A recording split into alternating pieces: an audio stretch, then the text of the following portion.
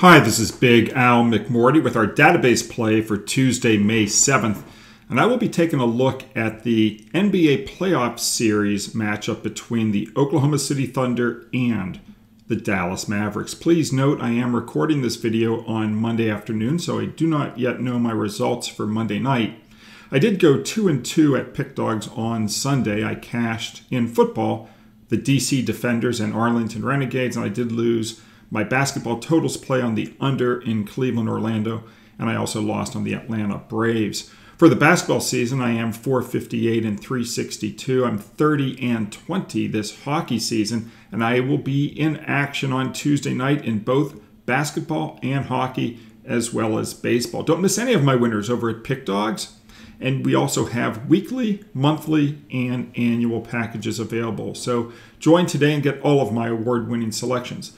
And if you are a high roller, that is, if you can bet a thousand to ten thousand a game, then join our all access club. Just text the words Big Al to 775 636 7676. One of the biggest benefits of being an all access member is that you get our games rated. We rate our games 10 stars down through 1 star. So, if you were an all access member, you would have known that yesterday's football plays were both huge 8 star selections. Join the All Access. Text Big Al to 775 636 7676.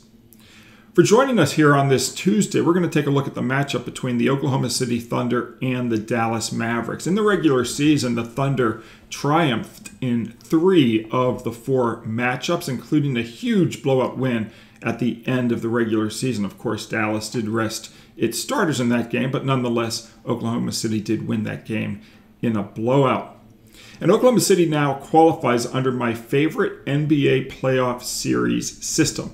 This system has gone 132 and 8. That's right.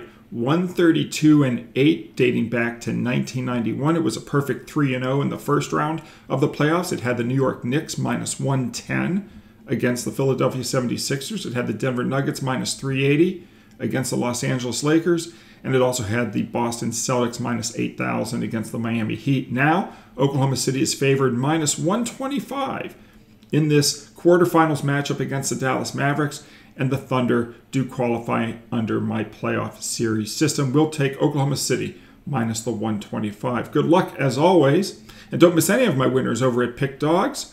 Go to PickDawgz and get on board for my NBA and hockey playoff winners tonight, as well as my baseball. Good luck as always.